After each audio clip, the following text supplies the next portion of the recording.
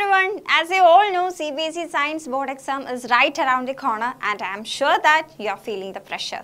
So in chemistry, chemical reactions are quite exhausting, right? So how about we make it easier? As you all know, the first chapter is chemical reactions and equations. It's a easy chapter, but also students feel difficult because it contains plenty of chemical reactions and chemical equations. I know that chemical equations are difficult for you. So let's make it easier by learning all the chemical reactions in this chapter through this small video. So here you can see a table and this table contains the chemical reactions in the first chapter and also by observing this table you can understand whether the chemical reaction belongs to combination reaction, decomposition reaction, displacement reaction or double displacement reaction and also you could identify whether the reaction is oxidation or reduction, whether it is exothermic or endothermic and some important additional information about these chemical reactions. So moving on to the first chemical equation that is magnesium. Burns in the presence of oxygen to form magnesium oxide and magnesium burns with a dazzling white flame. Note down that. Okay and the next equation is carbon combines with oxygen to form carbon dioxide. Carbon monoxide combines with hydrogen to form methanol. Okay and by observing these three chemical reactions we can categorize this into these reactions are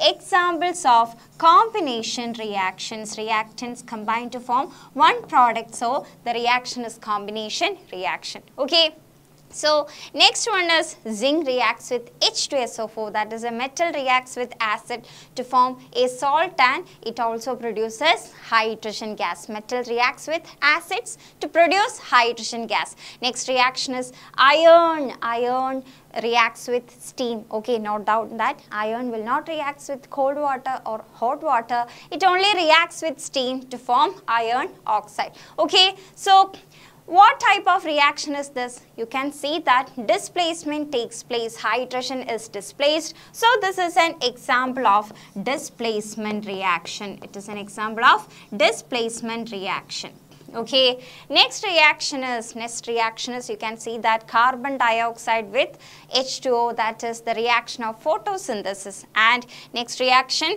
calcium hydroxide combines with carbon dioxide to form calcium carbonate. And the calcium carbonate is used for whitewashing. Okay. Whitewashing the walls calcium carbonate is used. And which type of reaction is this okay? You can observe that and this reaction is an endothermic reaction.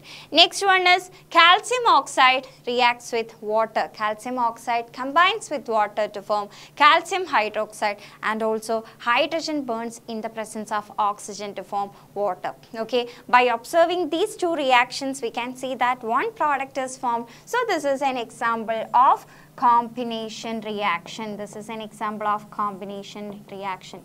And it is also important to note that uh, we can see in every question paper a question related to the reaction of calcium oxide with water which is an exothermic reaction. Okay, the main important peculiarity of this reaction is it is an example of exothermic reaction.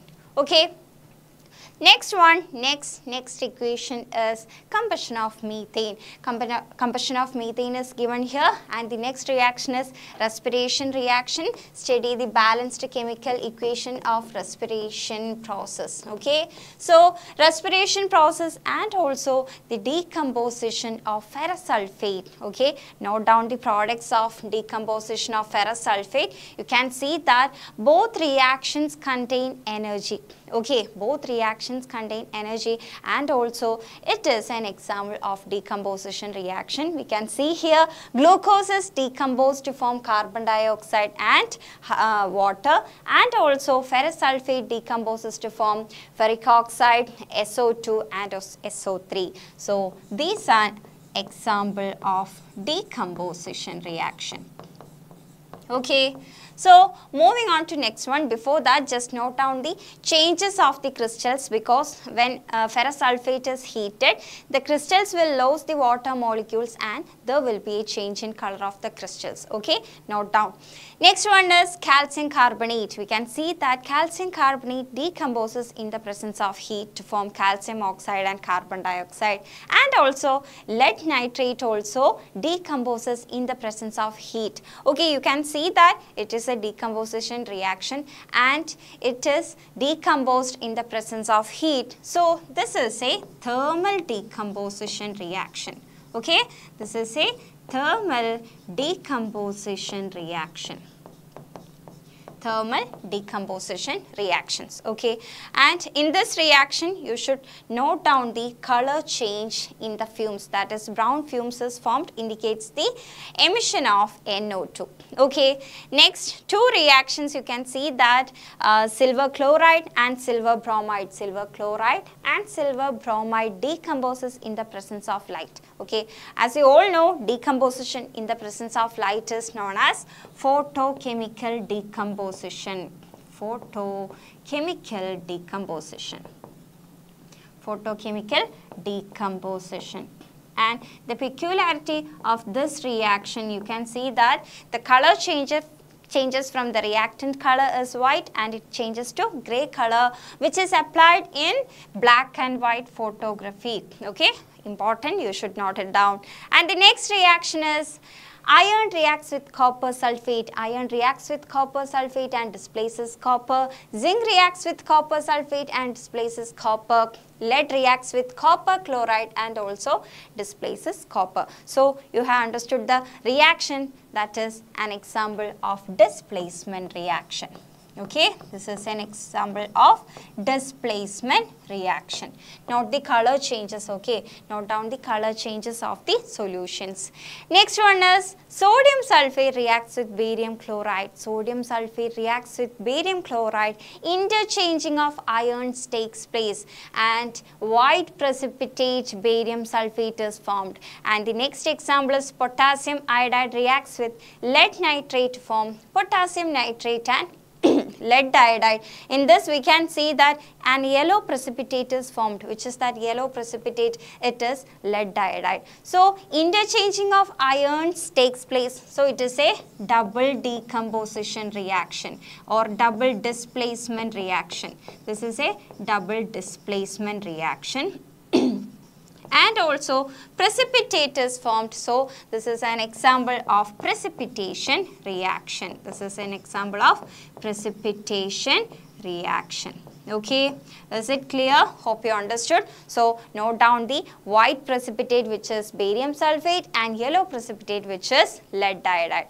And next reaction you can see that copper in the presence of oxygen when it is heated it convert it it will be converted to copper oxide. And also next one it is an example of combination reaction. Uh, many questions can be seen related to this topic. And also next one is copper oxide reacts with hydrogen and it is converted to copper. Okay the color change will be copper can be seen as the black. Okay Next one is zinc oxide reacts with carbon that is it forms zinc and carbon monoxide. By observing these two reactions what will be this reaction whether it is displacement or combination reaction.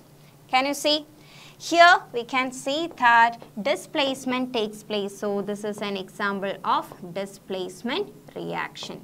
And the last one, in every question paper you can see this type of question on the topic redox reaction. So identify these type of reactions, okay. It is important to note down whether oxidation takes place, whether reduction takes place, okay. So study thoroughly, this is a redox reactions. This is an example of redox reaction in which oxidation and reduction takes place. So, uh, I have listed, listed out the complete reaction from this chapter. You can study all the all these chemical reactions for your CBSE board exam. So, I think it would be easier for you. So, for more interesting videos, keep watching. Thank you.